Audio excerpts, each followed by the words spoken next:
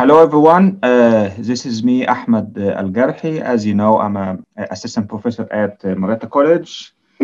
Uh, it is my pleasure to be with you today, uh, talking to uh, students of the Kuwait University. Uh, by the way, I have many Kuwaiti students here. Also, I have a Kuwaiti flag in my office. So it's always pleasure to talk to Kuwaiti students. Okay, so um, thank you for the invitation. And uh, today we will uh, talk about little introduction about hydraulic fracturing. Okay, so uh, let's begin. So uh, to cover the basics of hydraulic fracturing, I need to talk about uh, what is formation damage. Also, I need to know what is well stimulation. Then I will talk about what is hydraulic fracturing, why we do it, and finally, little information about uh, the equipments and material. Okay? So basically, formation damage is a, a, a disease may uh, affect my reservoir. So this is the, the, the, the good way I like to use uh, to teach my students here is always remember that you as a petroleum engineer, you work as a doctor. You are like a physician. When uh, uh, a patient feels something wrong with his health or her health, for sure we go to see the doctor. Okay? So when you talk to the doctor, the doctor will ask you what is the symptoms, what do you feel, what is wrong uh, uh in your body, and most likely you have a disease. So the disease, this is the formation damage. So a doctor is a petroleum engineer. The patient is your reservoir, maybe a gas reservoir, maybe an oil reservoir, maybe um, you know water and oil and gas all at the same time. So there's uh, different types of reservoirs. And this is my patient. This is the reservoir. We are uh, studying oil and gas in the universities to keep these oil and gas reservoirs healthy and uh, producible, you know, producing uh, a lot of uh, oil and gas. Okay, so I want you today to know what is what kind of disease may uh, happen to the oil to the hydrocarbon reservoir. Also, I want you to know what is the symptoms. Okay, also, I wanted to know what is the medicine. Okay, so it should be easy and interesting uh, lecture. So please give me all your attention. Remember again, when you feel something wrong with your uh, body, you go to see the doctor and the doctor will ask you uh, about the symptom. Uh, he will try to do some uh, diagnosis to know exactly what kind of disease. So he may ask you to do a blood test he may ask you to do a scan. And at the end, he will figure out what is exactly wrong in your body. And he will tell you, hey, you have this disease and you need to take this medicine or this uh, remedy. And in oil and gas, we have copy the same concept. And you as a petroleum engineer, you are the doctor, the hydrocarbon reservoir, this is your patient. And we are trying to know what is the disease, what is the symptoms, and what is the medicine. Okay? Okay, so formation damage is a kind of disease, but actually it is not one type of disease. It is many, many, many types of disease. Okay, so formation damage may happen to any formation. Maybe if it is a sandstone formation, if it is uh, limestone, if it is dolomite, if it is shale, all these kind of, uh, you know, uh, all of these types of reservoirs may have uh, formation damage. Also, this formation damage may happen at any time. So maybe from day one production, or maybe after one or two years, there's uh, all, uh, you know, uh, chances may happen. So how to figure out um, uh, there is a problem, there is a formation damage problem, you may notice there is a loss of well performance. The well used to produce, uh, let's say, 1,000 barrel every day. but today you find it 500. You keep asking yourself why you lost 50% of your production. So maybe there is a formation damage. Maybe something else, but you need to check that, yes, maybe there is a formation damage. So most likely uh, a formation damage cause uh, plugging of pore throats. You know that we have pores, we have pores inside the formation, and these pores, which is the, uh, the voids, include uh, or you know have the hydrocarbon, has maybe has some water, some gas, and some oil. And these um, uh, voids must be connected together so the hydrocarbon can flow from somewhere inside the reservoir to another place inside the reservoir or reach the wellbore and we can produce it uh, easily later. So if you plug these channels or the pore throats or the little bottleneck connecting the two um, you know, pores beside each other, if you plug this uh, pathway, it means the hydrocarbon cannot move to the wellbore and cannot be produced. Okay, so this is a formation damage. Also, um, a change of wettability, you know that uh, if we are producing oil, I prefer to have a water wet reservoir. A water wet reservoir means your formation of your rock love to keep the water, keep the water inside the reservoir and like to produce the oil, which is favorable. This is what we want. Okay, so if you inject a chemical and by mistake you change your reservoir from being water wet and become oil wet, means your reservoir will keep the oil inside it and will produce water. This will be too bad. Why? Because we are petroleum engineers, not water engineers. We are here in this business to produce oil and gas, not to produce water. Okay. Uh, I mentioned it, it may occur anytime. Also, it can take various uh, periods of time. Okay, what else about formation damage? It can be simple, uh, just one type of, uh, of uh, formation damage. Also, it can uh, be multiple types. It is similar to an old man who has many diseases. Okay, so when you go to see the physician or the doctor, you may have only one problem, like uh, high blood pressure, for example, or you may have uh, diabetes or whatever uh, problem. But in some cases, especially with old men uh, or you know old ladies, you may have multiple diseases at the same time. Okay, so formation damage uh, is very similar and maybe uh, just a single you know, uh, type or maybe a multiple types.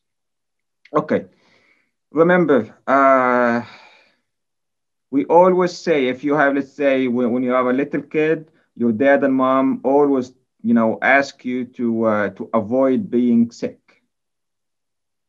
It is better to avoid being sick than go and see, go to the hospital or go get hospitalized. So it is better always to avoid uh, bad things. So it is the same scenario here. It is always better to avoid formation damage than uh, treat it. Why? Because to treat or to fix a problem of formation damage, it may cost you millions of dollars. And this is not wise to do. Okay. How to identify, how to know uh, there's a formation damage problem. The same thing, if you go to the doctor, he may ask you to do, um, let's say, um, a blood test. He will ask you to go to um, uh, a medical lab to get uh, a blood sample from your arm, for example, and they will tell you exactly, you know, if you have anything wrong or not. So uh, also they may, uh, the doctor may ask you to go to um, a scan place to do, let's say, scan for your chest or for whatever part of your body. But these things, we use it to identify exactly what is a problem, to know exactly what is, uh, what kind of disease do you have. Okay, so the same thing here. I may notice there's a loss of well performance. Okay, But when I notice there's a loss of well performance, I'm not very sure that this is a formation damage. Maybe a natural decline. Maybe. I still don't know.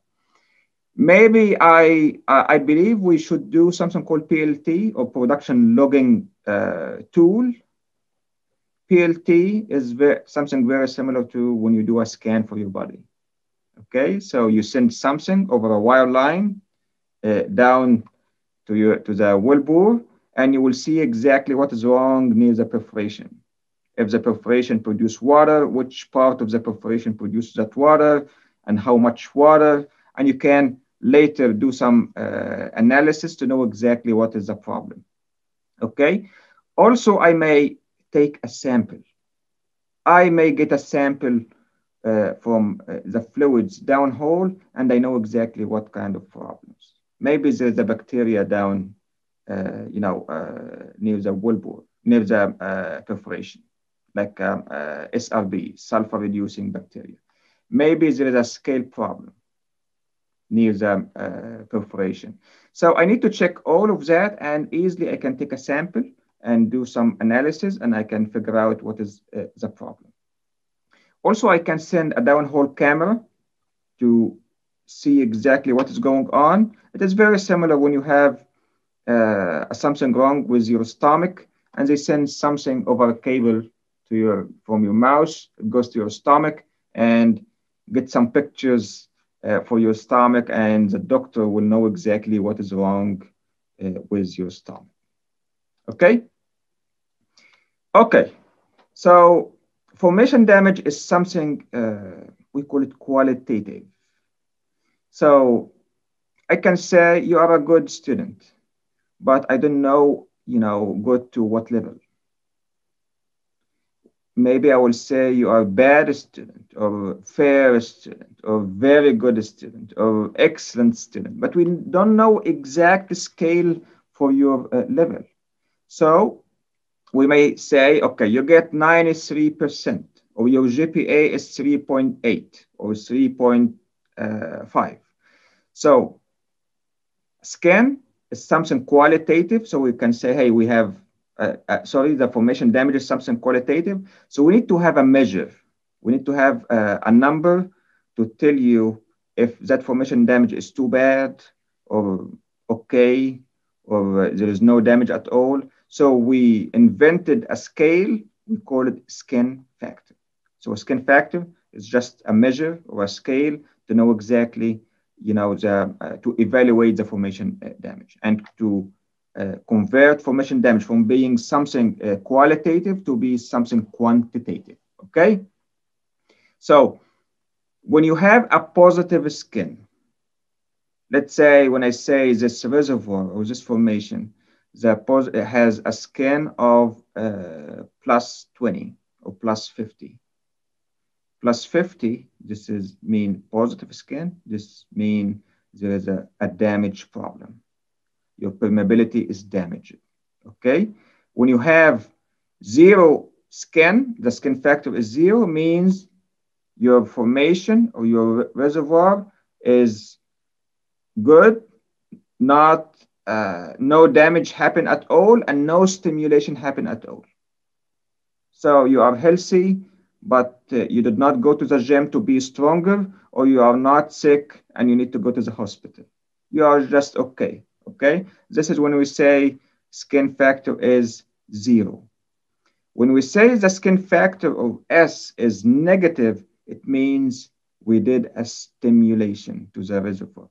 Stimulation means you um, you did something like hydraulic fracturing, like acidizing, like acid fracturing to make your reservoir produce better. It is very similar to say, uh, I'm in a good health. I don't have any problem. I don't have any health problem, but I decided to go to, um, uh, to the gym to do bodybuilding you know, we are celebrating uh, Big Ramy, you know, we're getting the, uh, the medal of Mr. Olympia uh, last few days. And I know that he used to train in Kuwait before. So let's say you are very healthy, you don't have any health problem, but you decided to uh, go to um, uh, the gym to uh, do a bodybuilding to become like Big Ramy. Okay, so what you are doing right now is stimulation, trying to make your health better. You are not facing any problem, but you want to make your health better. Okay, so this happens when we see the negative skin.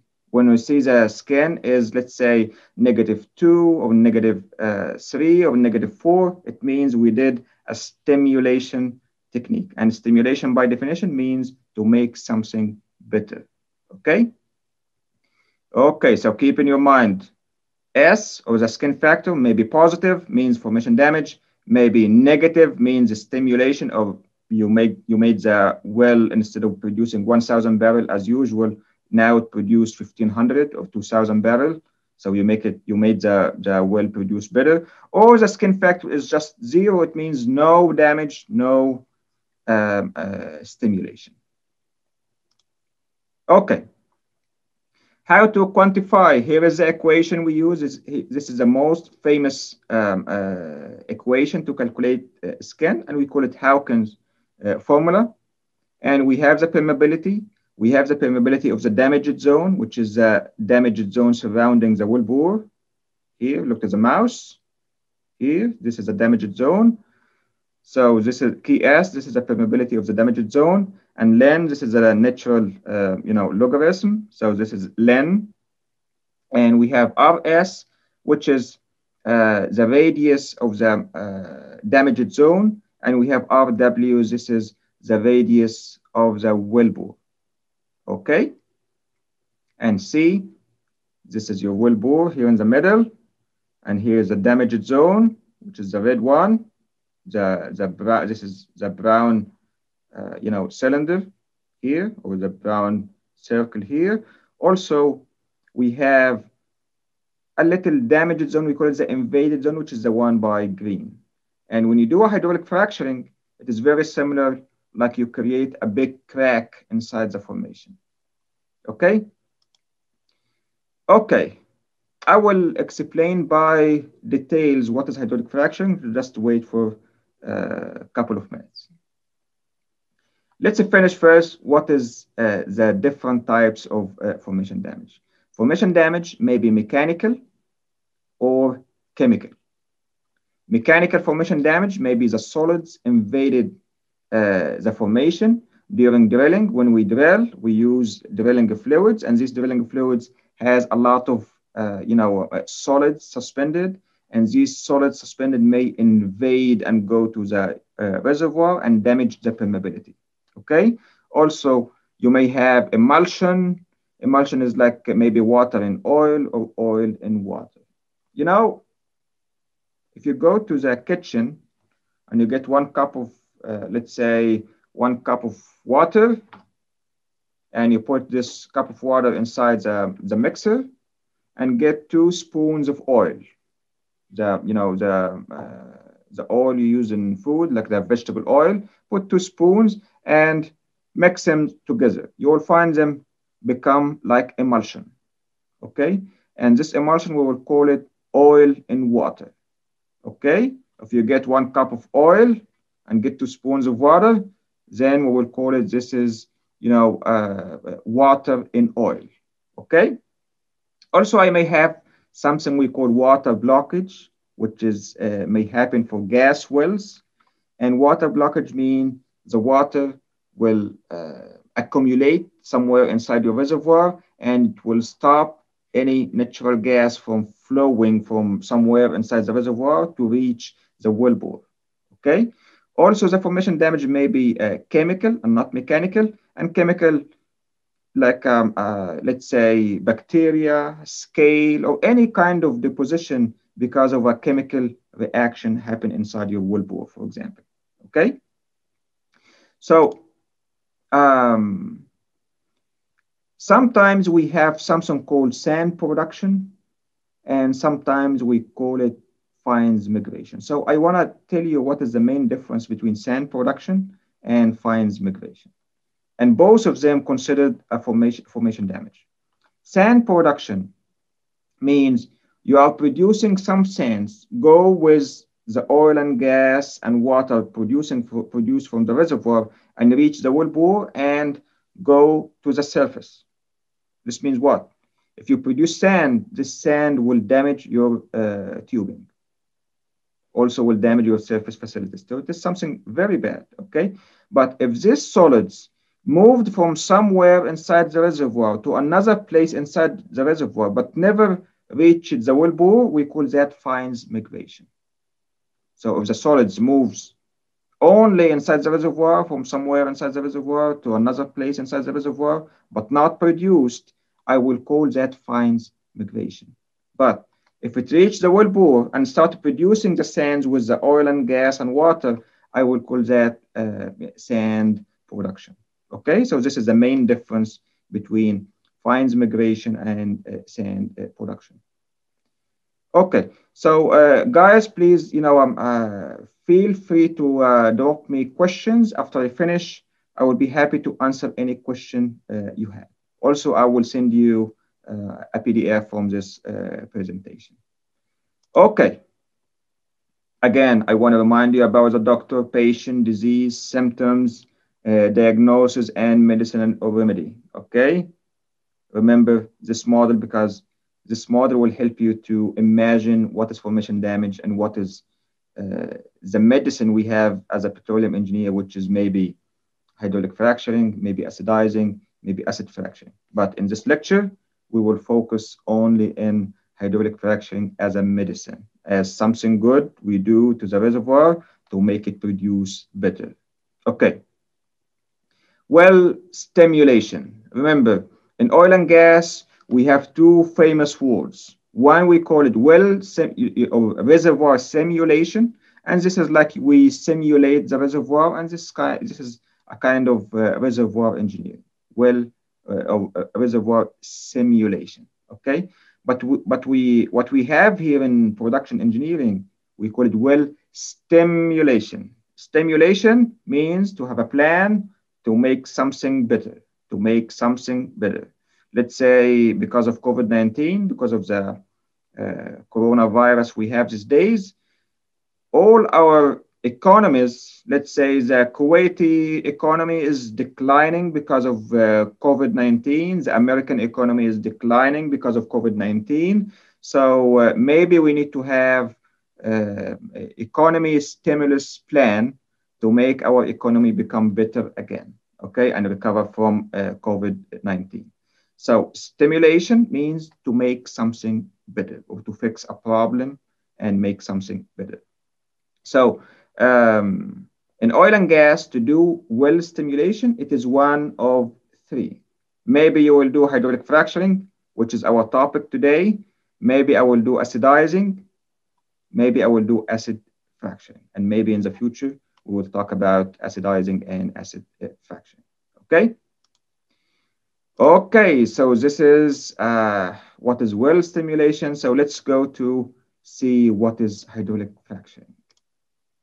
Okay, hydraulic fracturing, simply we are injecting fluid into the well bore, and this fluid, is, we call it engineered fluid, which is a fluid with a recipe, like uh, you are cooking uh, something, uh, a nice food, and we need to follow exactly the same recipe, okay? So we prepare a frac fluid, we prepare something we call proppant.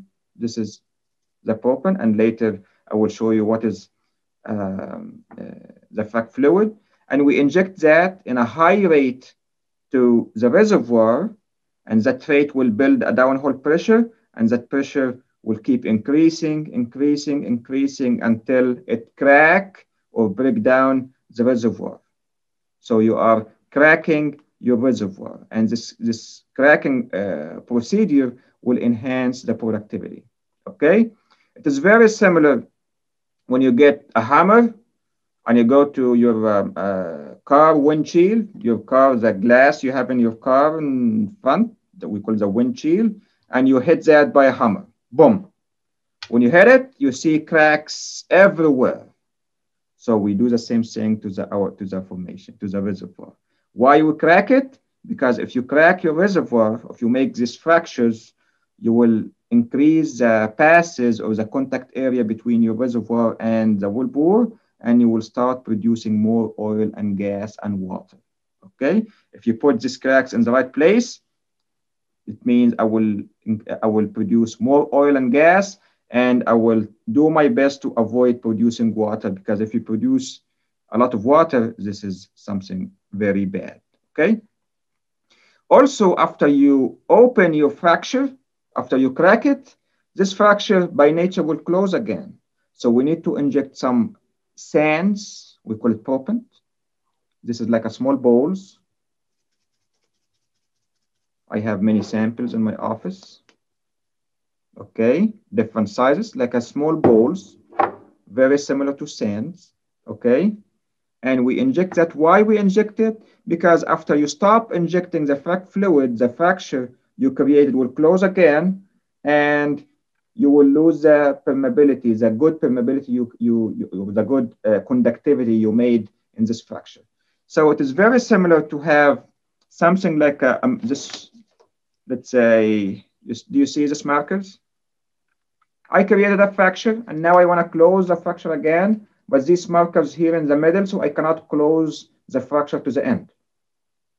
It is the same thing. I will put the proppant with this, this uh, balls in the middle between the fracture I opened, and when I close the fracture, when the fracture get uh, try to close, it, it will not get the chance to close to the end, and it will have a lot of good conductivity. Okay. Okay.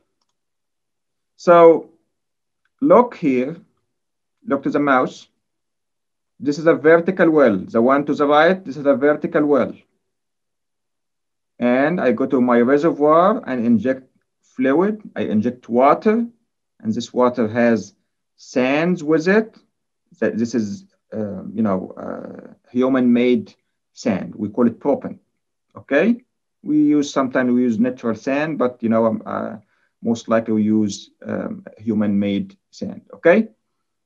We inject them until the pressure increase, increase, the bottom hole pressure increase, increase, increase, until you break down the formation.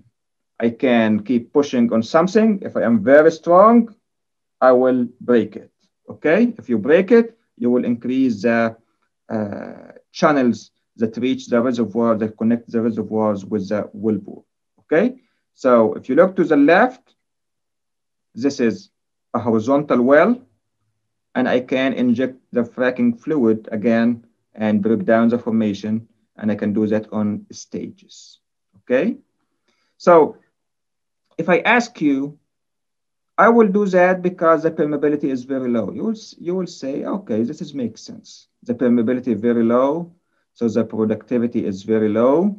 So maybe I need to do hydraulic fracturing to increase to uh, produce more oil or gas. Okay, but if I have high permeability, is it a need to do hydraulic fracturing? Most likely you'll say, okay, there is no need to do that because you told me that the permeability already very high and I'm producing uh, a lot of oil. So why I need to waste money to uh, do hydraulic fracturing? Actually, we do hydraulic fracturing for high permeability uh, formations uh, to do sand control.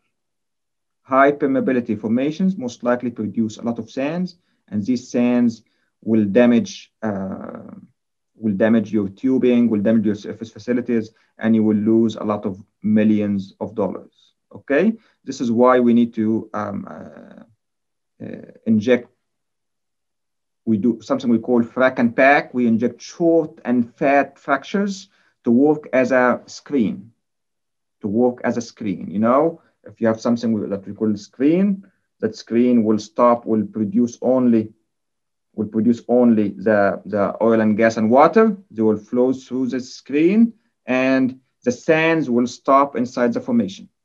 Okay, so if someone asked you, do we do only uh, hydraulic fracturing for, for low permeability reservoirs? The answer is no. We do hydraulic fracturing for low permeability reservoirs, and also we do it for high permeability reservoirs, but for a different reason, which is uh, sand control, not to enhance productivity, but for to uh, stop sand production. Guys, please uh, give me all your attention and watch this uh, short video to know exactly what is uh, hydraulic fracture. Okay, also it will summarize some other concepts to you. Please watch and listen. There are many formations with multi-zone oil and gas reservoirs that are vertically drilled and stimulated using hydraulic fracturing to optimally recover these hydrocarbons. In this example, we show a well targeting three sandstone layers, although this number may vary in different oil and gas plays. Once the drill rig and other infrastructure is in place, a bit mounted on the end of the drill pipe begins drilling the well. The well is initially drilled to a designated distance below the deepest fresh water source near the surface. The pipe and bit are then removed and surface casing is inserted into the hole. The casing is then secured into place by pumping cement through the casing and through the shoe at the bottom of the hole. The cement barrier and steel casing prevent any contamination of freshwater aquifers. Once the casing cement has set, drilling of the intermediate section of the hole continues by drilling through the wiper plug, shoe, and cement at the bottom of the wellbore and on toward the targeted zones. Throughout the drilling, a mixture called mud is pumped down into the well through the drill pipe. The mud serves to keep the drill bit cool. It carries the cuttings to the surface and provides hydrostatic pressure, prohibiting formation fluids from entering the wellbore. As drilling approaches the depth of the first target zone, a technician called a mud logger is brought on location. He analyzes the cuttings, identifying the downhole lithology and any presence of hydrocarbons. As the well is being drilled, he provides real-time information to the company geologist and rig personnel. Once the bottom of the intermediate section is reached, the drill pipe and bit are again removed from the well bore and intermediate casing is inserted into the hole and connected to the surface casing. The intermediate casing is also cemented to secure the hole. The drill pipe and bit are again lowered back into the hole and drills through the wiper plug, shoe, and cement. Once total depth is reached, the drill pipe and bit are removed from the well bore one last time. Next, a logging tool is lowered to the bottom of the well on a wire line. As the tool is pulled back up the entire length of the well, data is gathered to create an electric log. Once the well has been logged and deemed a commercial well, production casing is then inserted. As with the surface and intermediate casing, the production casing is also cemented into the hole. Back on the surface, the drilling rig is no longer needed. A temporary wellhead is installed and the location is prepared for the service crews who will ready the well for production. The first of these steps is to perforate or perf the casing. A perforating gun is lowered by wire line to the lowest of the three target zones. An electrical current is sent down the wire line to the perf gun, setting off a charge which shoots holes through the steel casing, cement, and out a short distance into the target formation. The perf gun is then pulled out of the hole. The next step is to hydraulically fracture or frac the zone. Here, sand or other proppants are pumped into the wellbore under extremely high pressure. When the mixture reaches the target zone, the pressure forces it out through the perf holes and out into the sandstone formation, causing it to fracture. This creates a fairway connecting the reservoir to the well and allows the released oil to flow to the well bore. Next, a bridge plug is placed inside the production casing, isolating the fracked zone. The hydraulic fracture process is then repeated for zones 2 and 1. Now that the frac process is complete, the plugs are drilled out and production tubing is lowered into the wellbore to reach each of the productive zones. Hydrocarbons can now flow simultaneously from each of the zones into the well. The next step is to install a permanent wellhead and other necessary surface equipment. Sometimes a pump jack is used to help bring the oil to the surface. The final step is to install and connect a pipeline to the well that will transport the oil to the nation's pipeline network. Wells that produce from several zones simultaneously result in greater cost efficiency and increased productivity. Okay, so the good thing about this video, uh, you know, it summarized a lot of, uh, you know, uh, the history of the well from day one when we start, you know, uh, drilling, when we get the mud logger, when we could do the casing, when you do the fracking. So um, uh, I wish it is uh, helpful, helpful video. Okay, so if you want to work in hydraulic fracturing in the future, you need to memorize uh, this uh, graph the same way you memorize your name. Remember, when you inject, the bottom hole pressure will increase. Look to the mouse, will increase, increase, increase, increase to this point. Look to this circle, red circle. We call that breakdown pressure.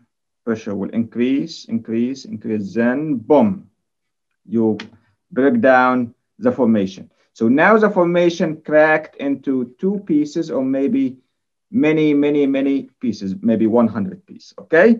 So look here, here's uh, in the x-axis, this is the time, in the x-axis. In the y-axis, y-axis, this is the bottom hole pressure. And when you inject, we are uh, we do our best to keep a constant injection rate this is the injection rate. Look to the mouse. Okay. Then when you inject, the bottom hole pressure will increase, increase, increase until the breakdown will happen.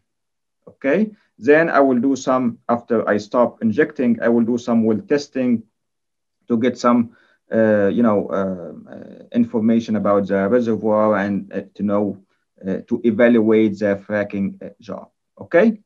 So try to memorize that uh, in your mind. Okay.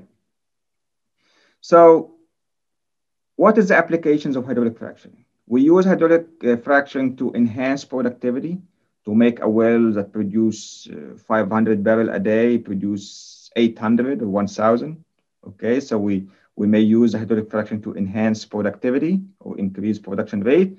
Also, we may use it to as a sand control uh, technique.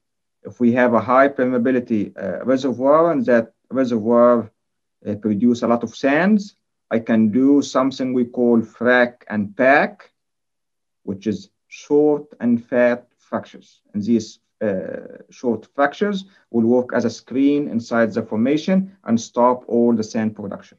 Okay. Also, sometimes we have uh, hydraulically fractured wells in water flooding uh, project. So whenever we do hydraulic water flooding, we do want to fracture these wells. We want to use it as a normal injectors. But by time, the formation keep cool down, cool down because uh, the, the fluid in the surface, when I injected, uh, the, the frac fluid from the surface will be in low, low temperature and the formation will be in high temperature.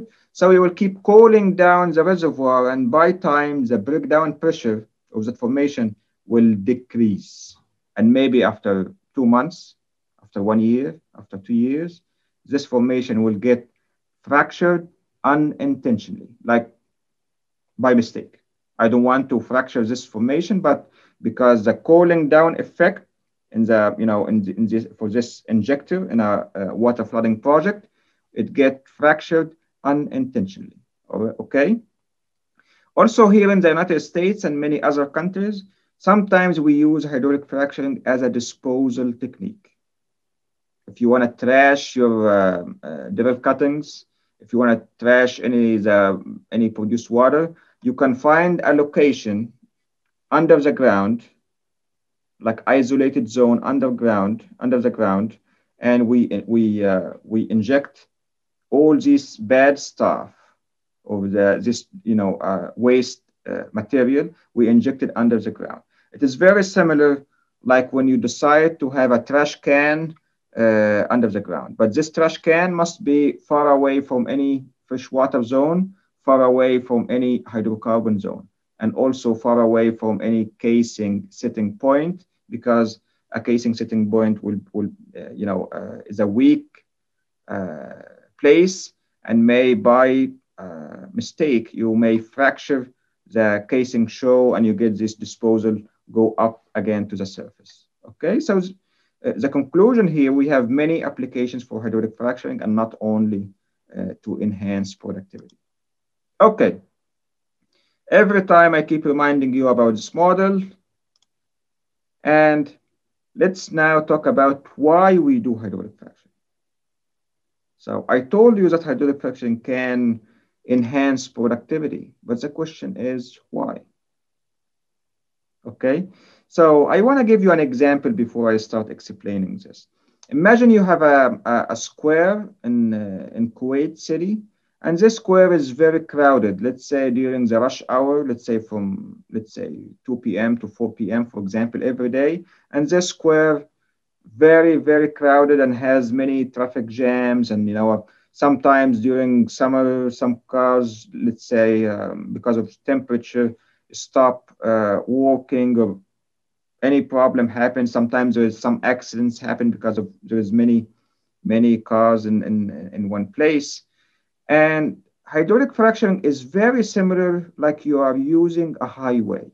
And instead of going through when you finish your job or finish your school, you uh, you go from the university and now you are driving your car back home and you need you must go through this square and the square is very crowded this crowd means there's a lot of formation damage. But if you have a hydraulic fracture, it is very similar like you go from your, your university to your home using a highway, no traffic jam, and you know you will have very high speed. So this highway, this is exactly the hydraulic fracture, okay? This crowded square, this is a formation uh, damage, okay? A damaged formation. So long time ago, more than you know 200 years ago, uh, a gentleman called Henry Darcy. He's a French. He was a French uh, civil engineer, and he used to do some experiments to design a fountain. A fountain, you know, the you know that thing that you know the water go out and make a very nice you know uh, scene. So um, uh, uh, Henry Darcy was trying to set a law, what we call it right these days, Henry um, uh, Darcy law, okay, to uh, do some calculations for a, a, water fountain. And later, because we found this, uh, uh, uh this Darcy law, this equation, very helpful in oil and gas, we start adopting the same equation and any production book in oil and gas now, you will find it maybe in chapter one or chapter two, you will see Darcy law, one of the very basic stuff in, in our industry. So the basic model that Henry Darcy introduced, he has a pipe, this pipe, okay? And we have two points, A and B. And uh, this pipe has a lens. Also, it has, uh, you know, an, a cross-section area, the diameter and the cross-section area of that uh, pipe.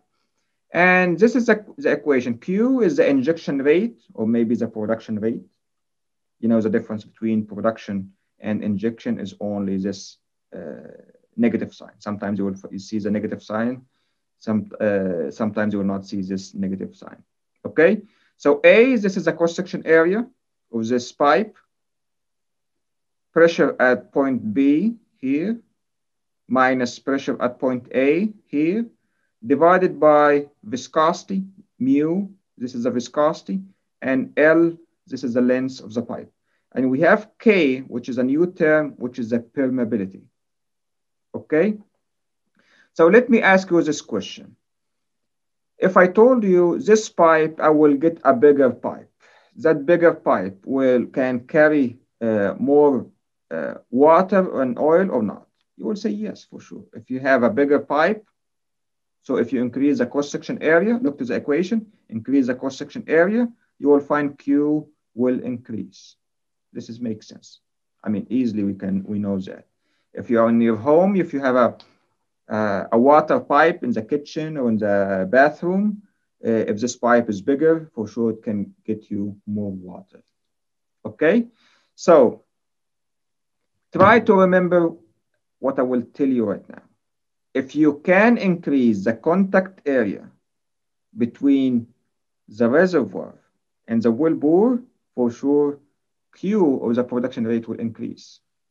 This is the same concept. It is not me who told you this. This is Henry Darcy who told you this. Okay, because look to Henry equation or Henry law or Darcy law, increase the cross section area, A, you will increase Q automatically. Okay, so if I ask you this question, why, look to the bottom uh, picture, why a horizontal well produce more oil than a vertical well? Simply because the contact area in the vertical well, the contact area between the reservoir and the well bore here is less than the contact area if I have a horizontal well. If you increase the contact area, means you will increase productivity. And in hydraulic fracturing, all what we are doing is increasing the contact area. When you break down the formation, create new fractures, these fractures will increase the contact area between the well and the reservoir. Okay, and this is why we get more production by hydraulic fracturing. Also, because I inject a lot of proppant, this sand with the frac fluid, I will create this fracture, and this fracture will be filled with this uh, and this proppant has very high permeability. The permeability of this proppant is way uh, higher, uh, maybe hundreds of times higher than the permeability of the formation. So you create a very conductive pass from the from deep inside the reservoir and brings all the oil and gas and water directly and immediately to the wellbore. Okay, so now I am enhancing the conductivity. The conductivity is uh, the fracture width times the fracture permeability. Okay, so this is a second reason why a hydraulic fracture increase productivity. The first one, because increase the contact area between the well and the reservoir. The second, because I'm creating a conductive uh, pass and uh, increase the conductivity. And finally, because hydraulic fracturing will not fix any damage problem, but will bypass it. Like you have that crowded square in, in Kuwait City, but instead of go, driving your car through the, that square, that crowded square, you will go through the highway at the top of that square. You will not stop, uh, you know, in the middle of your way in that crowded square. So we call it bypassing the formation damage or bypassing the crowd when you drive your car. Okay. The last thing I have for you today is uh, a little introduction about hydraulic fracturing equipment and material, the material we are using and the equipment we are using. Look, this picture from somewhere here in the United States, and you see a lot of pumps. Look to the picture, you will see uh, red, you know, whenever you see a lot of red, most likely this is Halliburton, okay? So you will see uh, some tubes in the middle, we call it manifold, and we see pumps in the two sides, two sides of these pipes. So here is a list here is uh, some uh, pumps, hydraulic fraction pumps, and here is hydraulic fraction pumps, and we have the manifold in the middle, and we have something called the blender here in this side. If you look to the other side, you will see the wellhead here. Okay, so we may have pumps, we may have tanks. These tanks for the water, for the propellant, for the chemicals. Also, we may have uh, blenders. The blender, this is uh, like a, the mixer that mix the frac fluid with the propellant, with the chemicals, and mix all of them together and send it to uh, the low pressure side of the uh, manifold. The low pressure side connected to the pumps. The pumps will take it and inject it again to the manifold as a high pressure, and that high pressure fluid goes directly to the well to the wellhead and get injected and the, the pressure, the downhole pressure keep increasing, increasing, increasing until you break down the formation and crack it, okay? And you get more uh, production. Also, I believe maybe in the future we may have a, a, talk about, you know, hydraulic fracturing operation because there's a lot of things we need to say uh, about it. Also, near the wellhead, you will see um, a, a, big van, including like a, uh, some office, you know, office and some computers, and we call it a data uh, van or monitoring truck. Okay, and we have the frac engineers there, we have the supervisors, the job supervisors there, we have the, the company man there, and they can easily watch everything in the location and easily can control everything in the location by um, you know uh, computers and also the, the job supervisor has a mic has a, a, mic has a headset and he can talk to all the frac uh, you know um, uh, team in the location and gives them uh, direction when to inject when to stop when to increase the proppant concentration and so on. Okay. So i used to track my students here and ask them some uh, funny questions and I, I, I show them this picture and I, I ask them, hey, try to find me where is a, uh, workover rig. And they keep looking in the picture and someone say, hey, the workover rig is here or here. And actually, there is no workover rig in this location. This is how the workover looks like. A workover rig, very similar to a drilling rig, but it is smaller. A, you know, a drilling rig will have maybe three pipes connected together. So the, the mast or the tower is very high. In, in deep water drilling, we may have four pipes connected and one pipe is like around 30 feet. So um, uh, one stand is like 90 feet in drilling. In deep water, maybe it will be four, four pipes connected together. But in workover, most likely only two pipes connected together. So it is uh, shorter, like 60 feet, okay? So it was like a uh, funny questions to, to be sure that students are awake and not uh, sleeping. Okay, here is again uh, another a second picture of a location, hydraulic fracturing location. And by the way, if you want to learn more about hydraulic fracturing operations, you will find many lectures and many videos on PioPetro YouTube channel about that. So we use a lot of fresh water. And fresh water in, in some countries is a very big challenge. Let's say here in the United States, when we frac shale, we, we consume a lot of fresh water.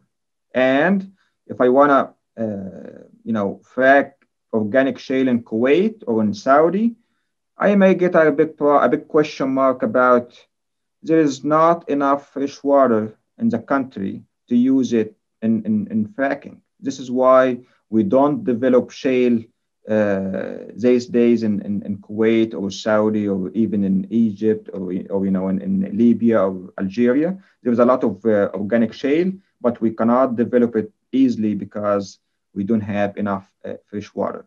Okay, so we use fresh water, we use KCl, which is uh, like a salt. Also, we use something called guar, and guar something very similar to starch, something a plant we um, we uh, we planted in India, somewhere you know near India, and it is very similar to beans, and we grind it, and it becomes something like a starch. When we mix it with water, it makes something uh, looks like a milk. Then we add something called a crosslinker, so it becomes like a jello. I will show you uh, some pictures. Also, I will use proppant. If you don't know what is proppant, this is a proppant. Okay we don't let students uh, touch it because uh, when we made it from ceramics, uh, sometimes uh, it may, uh, you know, uh, cause cancer.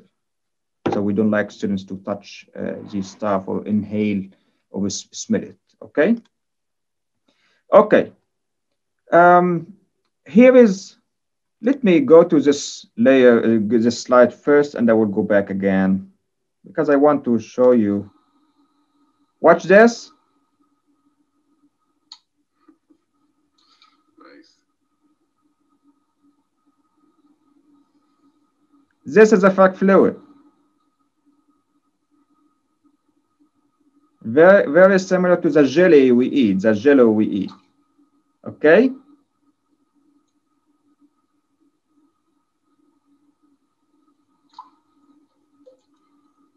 Okay, so this guy, we call it fluid tech.